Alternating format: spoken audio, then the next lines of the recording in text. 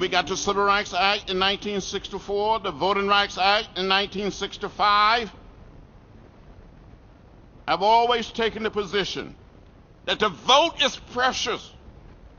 It is the most powerful, non-violent tool that we have in a democratic society, and we must use it.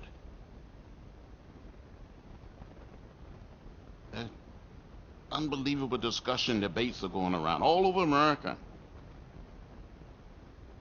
on the part of some people to suppress the vote, to make it hard, to make it difficult, almost impossible for people to participate in the democratic process. We cannot let that happen. A few short years ago, three young people that I knew, Andy Goodman, Mickey Schwerner from New York, James Chaney from Mississippi gave their very lives. And I tell young people, I tell students all the time that these three young men didn't die in Vietnam, they didn't die in the Middle East, or Eastern Europe, or in Africa, or Central or South America. They died right here in our own country. The only thing some of us did, we gave a little blood. They gave their lives. Almost 50 years later, we cannot allow their deaths to be in vain.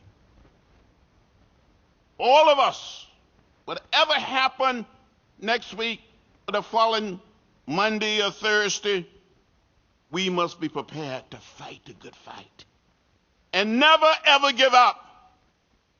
Never ever take no for an answer we must get in the way. We must get in trouble, good trouble.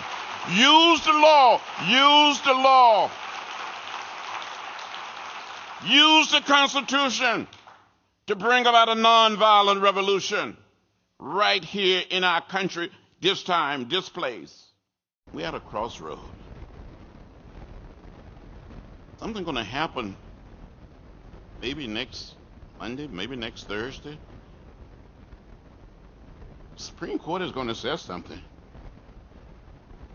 We've come too far. We made too much progress to stop now or to go back, but we must move forward.